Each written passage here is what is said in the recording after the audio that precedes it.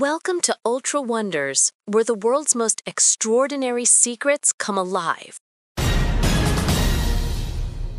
What is the Ring of Fire? The Ring of Fire is a vast horseshoe shaped zone that rims the Pacific Ocean. It's the most geologically active region on Earth, responsible for about three quarters of the world's active volcanoes and nearly 90% of global earthquakes. Why it's so dangerous. The region owes its power to tectonic plate boundaries, especially subduction zones, where one plate slips beneath another. This process builds enormous pressure underground, triggering explosive volcanic eruptions and powerful earthquakes. Many devastating events in history, including major tsunamis, originated here.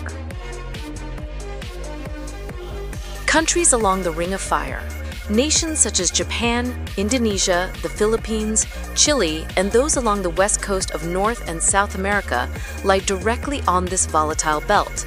Their landscapes are shaped by towering volcanoes, deep ocean trenches, and fault lines capable of producing sudden, intense seismic activity. Famous disasters linked to the Ring of Fire. Events like the 2011 Tohoku earthquake and tsunami in Japan, the 1991 eruption of Mount Pinatubo in the Philippines, and the 1960 Valdivia earthquake in Chile, the strongest ever recorded, all originated within this zone.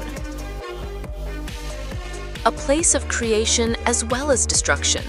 While the Ring of Fire is hazardous, it also drives important geologic processes. Volcanic activity forms new land, enriches soil, powers geothermal energy, and shapes mountain ranges.